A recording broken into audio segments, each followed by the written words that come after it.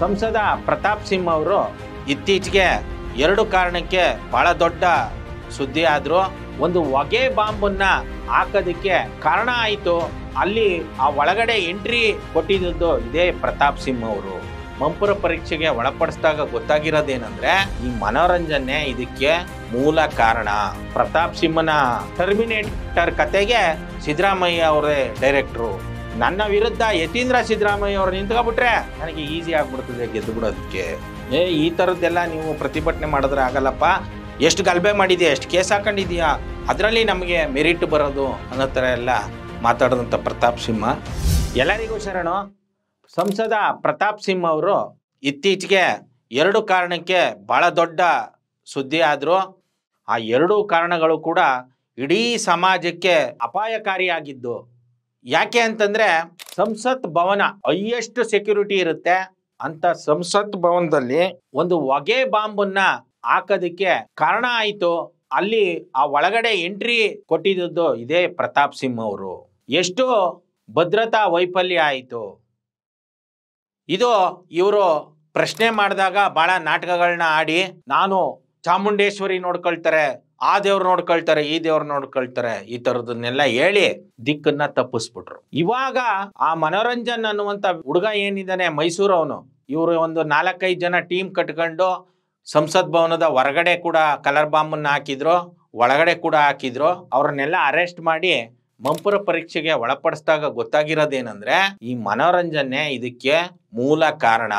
ಇಲ್ಲಿ ನಾವೆಲ್ಲ ಆತಂಕ ಪಡುವಂಥ ವಿಚಾರ ಏನು ಅಂತಂದ್ರೆ ಈ ನೀಚ ಪ್ರತಾಪ್ ಸಿಂಹ ಸಂಸದ ಏನಿದ್ದಾರೆ ಈತ ಎಲೆಕ್ಷನ್ನ ಗೆಲ್ಲೋದಕ್ಕೋಸ್ಕರ ಏನು ಬೇಕಾದ್ರೂ ಮಾಡೋದಕ್ಕೆ ಏಸುವಂಥ ವ್ಯಕ್ತಿ ಅಲ್ಲ ಈತ ಮೊದಲನೇ ಬಾರಿ ಮೈಸೂರಲ್ಲಿ ಚುನಾವಣೆಗೆ ಬಂದಾಗ ಅವಾಗ ಸಂಸದ ಎಚ್ ವಿಶ್ವನಾಥ್ ಅವರು ಹತಾಚೂರ್ಯದಿಂದ ಒಕ್ಕಲಿಗರ ಬಗ್ಗೆ ಕೊಟ್ಟಿದ್ದಂಥ ಒಂದು ಸ್ಟೇಟ್ಮೆಂಟನ್ನ ಜಾತಿ ಭಾವನೆನ ಕೆರಳಿಸಿ ಒಕ್ಕಲಿಗರಿಗೂ ಕುರುಬರಿಗೂ ಜಾತಿ ಭಾವನೆನ ಕೆರಳಿಸಿ ಈತ ಕಡೆ ದಿನಗಳಲ್ಲಿ ಇನ್ನೇನು ಚುನಾವಣೆ ಒಂದು ಹತ್ತು ಹದಿನೈದು ದಿನ ಅನ್ನುವಾಗ ಪ್ರತಾಪ್ ಸಿಂಹ ಗೌಡ ಅಂತ ಹಾಕೊಂಡು ಆ ಎರಡೂ ಸಮುದಾಯದ ಮಧ್ಯೆ ವೈಷಮ್ಯನ ತುಂಬಿ ಈತ ಗೆದ್ದಂಥದ್ದು. ಅದಾದ್ಮೇಲೆ ಮುಂದಿನ ಚುನಾವಣೆಯಲ್ಲೂ ಕೂಡ ಅದೇ ಅಸ್ತ್ರನ ಬಳಸಿ ಗೆದ್ದಂಥ ವ್ಯಕ್ತಿ ಈತ. ಇವಾಗ ಈತ ಚುನಾವಣೆಗೋಸ್ಕರ ಇಲ್ಲಿ ಏನೆಲ್ಲ ಮಾಡಿಸ್ತಾ ಇದ್ದಾನೋ ಗೊತ್ತಿಲ್ಲ. ಅದರಲ್ಲಿ ಈ ಕಲರ್ ಬಾಂಬ್ ಪ್ರಕರಣ ಆಗಿರೋದಂತೂ ಇದಕ್ಕೆ ನೇರವಾಗಿ ಈತನ್ನೇ ಹೊಣೆ ಮಾಡಬೇಕು ಹೊರತಾಗಿ, ಆ ಮಂಪರು ಪರೀಕ್ಷೆ ಪಾಪ ಆ ಹುಡುಗನಿಗೆ ಮಾಡೋದಲ್ಲ, ಈ ಈ ಸಂಸದನ್ನ ಕೂಡ ಹಿಡಿದು ಈತನ ಕರೆಕ್ಟಾಗಿ ತನಿಖೆ ಮಾಡಿದ್ರೆ ಇವರು ಏನೆಲ್ಲ ಕುತಂತ್ರ ಪಿತೂರಿಗಳನ್ನ ಮಾಡೋರೆ ಈ ಬಾರಿ ಎಂ ಪಿ ಚುನಾವಣೆಗಳನ್ನ ಗೆಲ್ಲೋದಕ್ಕೆ ಅನ್ನೋದಕ್ಕೆ ಆಧಾರ ಕೂಡ ಸಿಗ್ಬೋದು. ಆದರೆ ಆ ತನಿಖಾ ಸಂಸ್ಥೆಗಳು ಕೂಡ ಇವರ ಕಪಿಮುಷ್ಟಿಲಿರೋದ್ರಿಂದ ಅದು ಸಾಧ್ಯ ಇಲ್ಲ. ಹಾಗಾಗಿ ನಾವೆಲ್ಲ ಈ ಏನು ಇವ್ರಗಳ ಬಗ್ಗೆ ಎಚ್ಚರಿಕೆಯಿಂದ ಇರಬೇಕು, ಇನ್ನೂ ಎಚ್ಚರಿಕೆಯಿಂದ ಇರಬೇಕು. ಅದಾದಮೇಲೆ ಪ್ರತಾಪ್ ಸಿಂಹನ ತಮ್ಮ ಮರಗಳ್ತನ ಪ್ರಕರಣದಲ್ಲಿ ಸಿಗಾಕೊಂಡಿದ್ದಾರೆ. ಇವರು ತಮ್ಮ ಅಂದ ತಕ್ಷಣನೇ ಹೋಗಿ ಅವನು ಆ ರೀತಿ ಮಾಡೋದಕ್ಕೆ ಈತನ ಅಧಿಕಾರ ಕೂಡ ಆತನಿಗೆ ಆ ಧೈರ್ಯ ತಂದುಕೊಟ್ಟಿರ್ತದೆ. ಇದ್ರ ಬಗ್ಗೆ ಯಾರೇ ಅದು ಅದು ಯಾವುದೇ ಸಮುದಾಯದವ್ರು ಇರ್ಬೋದು, ನಮ್ಮ ಸಮುದಾಯದವನು ಕಳ್ತನ ಮಾಡಿಬಿಟ್ಟಿದ್ದಾನೆ. ಹಂಗಾಗಿ ನಾನು ಸಪೋರ್ಟ್ ಮಾಡ್ತೀನಿ ಅನ್ನುವಂಥದ್ದು ಬಹಳ ದೊಡ್ಡ ತಪ್ಪು. ಕುಮಾರಸ್ವಾಮಿಯವರು ರಾಜಕೀಯ ಲಾಭಗಳಿಗೋಸ್ಕರ ಎಂಥ ಸ್ಟೇಟ್ಮೆಂಟನ್ನು ಕೊಡ್ತಾರೆ ಅಂತಂದರೆ ಪ್ರತಾಪ್ ಸಿಂಹನ ಟರ್ಮಿನೇಟರ್ ಕತೆಗೆ ಸಿದ್ದರಾಮಯ್ಯ ಅವರೇ ಡೈರೆಕ್ಟ್ರು ಈ ಥರ ಇವರು ಮೊದಲು ಸಿನಿಮಾ ನಿರ್ಮಾಪಕರಲ್ವಾ? ಈ ಸಿನಿಮಾ ಭಾಷೆಯಲ್ಲಿ ಅದೊಂದು ಪಂಚ್ ಡೈಲಾಗು ಈ ಥರದನ್ನೆಲ್ಲ ಹೇಳ್ತಾರೆ. ಅದಕ್ಕೆ ಈ ಪ್ರತಾಪ್ ಸಿಂಹ ಹೋಗಿ ಆ ಕುಮಾರಸ್ವಾಮಿಗೆ ಕಾಲ್ಗೆಲ್ಲ ಬಿದ್ದು ಆ ನಾಟಕಗಳನ್ನ ಮಾಡಿ ಸೋಷಿಯಲ್ ಮೀಡಿಯಾದಲ್ಲೆಲ್ಲ ಹಾಕೊಳ್ತಾನೆ. ಈಗ ಯಾವ ರೀತಿ ಮಾತಾಡ್ತಾ ಇದ್ದಾರೆ ಅಂತಂದರೆ ಮರಗಳನಿಗೆ ಕರೆಂಟ್ ಕಳ್ಳ ಸಪೋರ್ಟು ಈ ರೀತಿ ಮಾತುಗಳು ಶುರು ಆಗಿದೆ. ಚುನಾವಣೆ ಗೆಲ್ಲೋದಕ್ಕೋಸ್ಕರ ಒಂದು ಇಡೀ ಸಮಾಜ ಒಪ್ಪಿರುವಂಥ ವ್ಯವಸ್ಥೆಯಲ್ಲಿ ಯಾವುದು ಸರಿ, ಯಾವುದು ತಪ್ಪು ಅನ್ನುವಂಥ ವಿಚಾರಗಳಲ್ಲಿ ನೀವು ಈ ರೀತಿ ಆಟಾಡುವಂಥದ್ದು ಅದು ಚುನಾವಣೆ ದೃಷ್ಟಿಕೋನದಿಂದ ನಿಮಗೆ ಸರಿ ಅನ್ನಿಸ್ಬೋದು ಆದರೆ ಒಟ್ಟಾರೆ ಸಮಾಜದ ದೃಷ್ಟಿಲಿ ಇದು ತಪ್ಪು. ಮತ್ತೆ ಪ್ರತಾಪ್ ಸಿಂಹ ಇನ್ನೊಂದು ಸ್ಟೇಟ್ಮೆಂಟನ್ನು ಕೊಟ್ಟಿದ್ದಾರೆ.